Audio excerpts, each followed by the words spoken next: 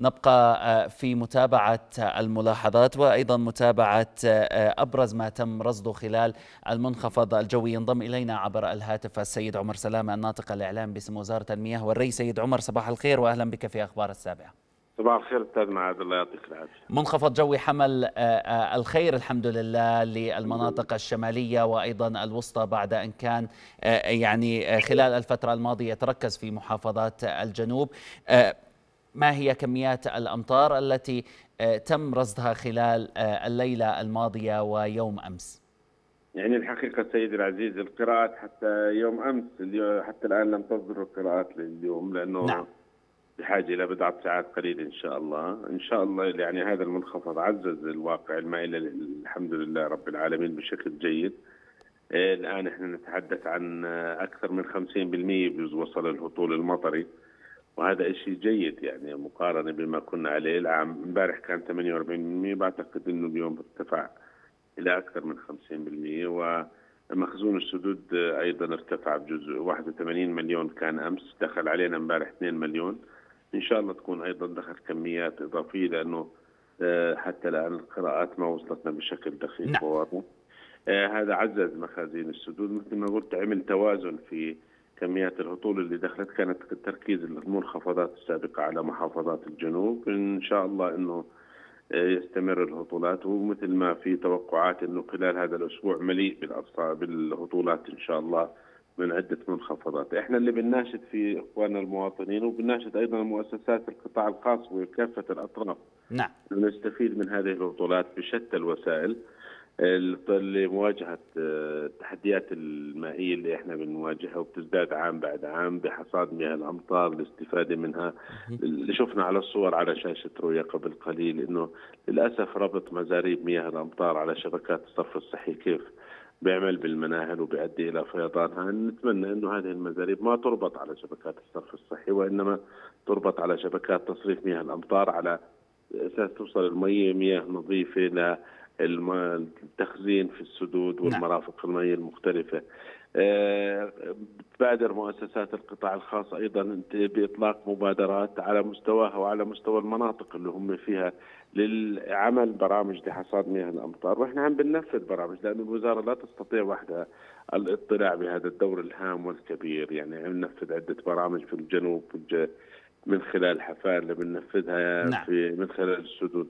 فهذا هو مطلوب منا جميعا. وإن شاء الله إنه يبدو إنه هذا الموسم إن شاء الله يعني سيتجاوز ما كنا عليه العام الماضي وتتحسن مخازن السدود خلال الفترة يا رب. سيد عمر هنالك سدود دخلت إلى الخدمة جديدا خلال العام الفائت ونهاية العام الفائت. هل بدأت المياه تتجمع في هذه السدود؟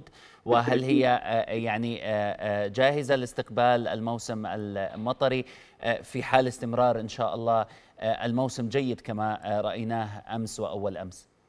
يعني الحقيقة الحمد لله إحنا مثل ما تعرف عملنا تعليل لسد الوالي رفعناه التعليل إلى حوالي 25 مليون متر مكعب. دخلوا كميات ممتازة من المنخفضات الجويه الاخيره للأسف امبارح واليوم السدود الجنوبية من ضمنها الوالي لم يدخلوا شيء. السد الوحيد اللي بمحافظات الجنوب دخلوا كميات قليلة من المياه اللي هو سد وادي الكرك. حوالي 2000 متر. إحنا الأخي معاذ الحفائر والسدود الصحراوية حسب القراءات اللي جتنا قبل أيام أنه جاء كميات ممتازة نعم من الهطولات اللي شملت مناطق وهذا سينعكس إن شاء الله على تغذية المياه الجوفية. نعرف أنه معدل التغذية الجوفية تصل إلى حوالي 280 مليون متر مكعب سنويا. نعم.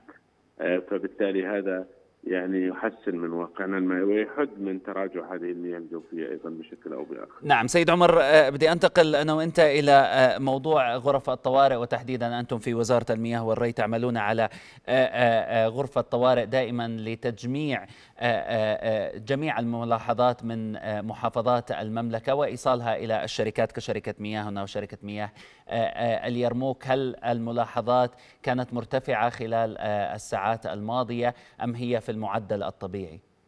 يعني الحقيقة توقفت بعض المصادر في بعض المناطق نتيجة ارتفاع منسوب المياه والعكوره في بعض المصادر، تعرف في عندنا بعض المصادر هي عبارة عن ينابيع نحكي عن نبع الشريعه مثلا في منطقة السلط نحكي عن آبار الصيف توقفت أيضا بسبب ارتفاع مجرى سيل الزرقاء وبالتالي أثر عليها.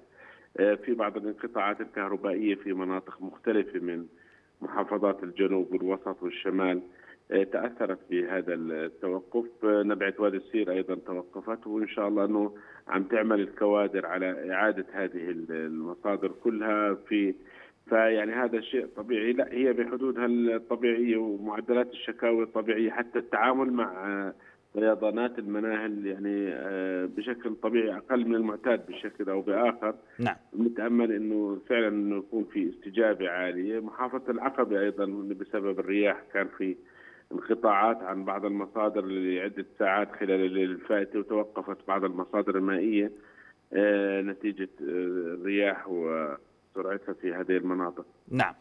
يعني إحنا بنلاحظ إنه في استجابة من إخواننا المواطنين وفي وعي عم بيزيد شيء فشيء فبنتأمل إنه زيادة هذا الموضوع وبنرجع بنأكد على موضوع إنه محافظة على المياه وحصادها والاستفادة منها وكذلك موضوع الاعتداءات أخي معاذ يعني بتعرف إحنا بين الحين والآخر نكثف حملات التصدي لهذه الاعتداءات وعم نعم. نشد عليها وأطلقنا رقم حديث للبلاغ عن أي اعتداء أو عبث بمصادر المياه أو حفر مخالف إنه هذا اعتداء نعم. علينا جميعا اللي هو على الرقم 5600 180 نعم بدي أشكرك جزيل الشكر سيد عمر سلامة الناطق الإعلامي باسم وزارة المياه والري. شكرا جزيلا لك.